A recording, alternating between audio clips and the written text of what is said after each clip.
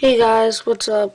This is Vishal here, and I know I haven't made a video in quite a while, so I'm coming here with a new video on an app review, and hopefully that will make up for, you know, the days I missed. But, I mean, it's a pretty good review, so I hope you'll enjoy it. It's on this app called TVU Player, and it does have a free version and a paid version. Paid version is like 5 six dollars something like that, in the App Store, obviously.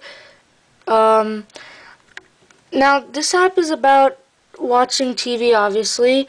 So, when it's a good solution to like Sling Player, well, not as high tech though.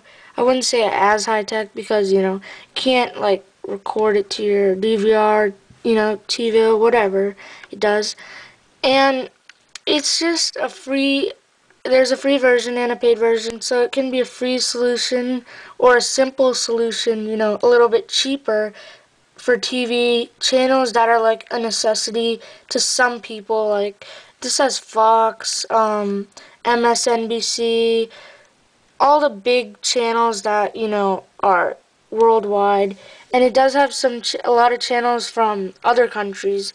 And it did have NBC also. I'm not sure what happened to that because the Olympics are coming on that and doesn't seem to have it anymore, which is pretty weird, but let's get into it now. So, here's the application. It takes a second to load and you'll come up with all these categories. Um, a lot of them.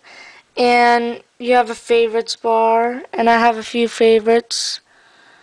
It does have CBS also few, you know, major channels. And it has a search bar, a more tab, just some info. Nobody really needs that. So we're going to go into all. And now you can see the flags of the countries and all the stuff like the auto channel and, you know, iMusic Network. Some of the channels, you know, are from different countries, so you won't really know, you know, what you'll be like, you know, what what is this? A lot of it won't be useful. I know, I can understand that, but you know, it just has some channels and hopefully they keep adding channels. I'm I haven't seen like a lot of updates for this app.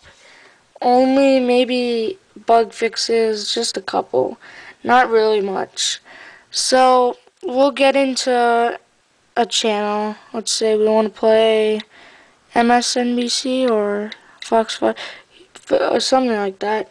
So we'll search, hit search, and and TV MSNBC, but that doesn't seem to be in the U.S. or working. So I'll just choose uh, CBS. Okay.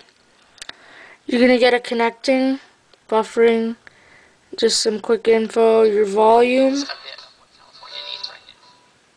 and I'll just make it lower for right now when I'm talking. So it just shows you the signal. This is 5 bars currently.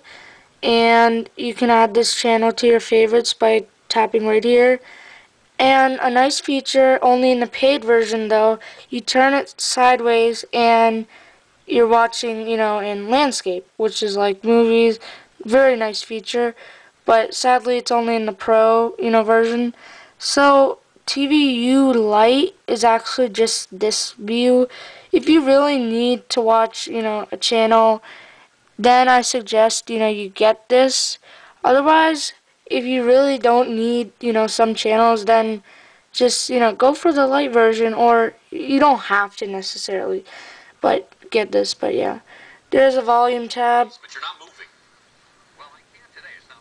And you'll just uh, hit here and we'll just close out of this. No clue what's coming on this channel. Something weird, but anyways, it shows you, it has a wide variety, like, I mean wide. There's also one channel for Hollywood movies. I'm not sure exactly which one that is, but when I first got this app, you know, I was like, oh, it's not really that good.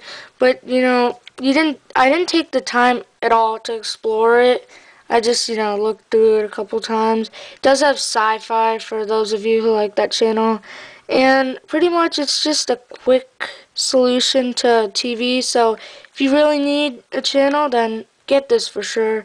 Otherwise, stick with the light version or just um, don't get it. It's your choice, but um, hope you liked my review. Thanks for watching. This has been Vishal from Gumball Tech. Uh, I'm signing out right now. And I'll talk to you guys later. Don't forget to follow me on Twitter, Hummerman95. Also, I want to thank you for watching, and peace.